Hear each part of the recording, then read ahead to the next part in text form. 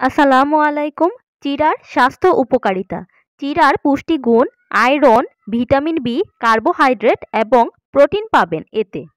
নিয়মিত চিরা খেলে পেট ঠান্ডা থাকে।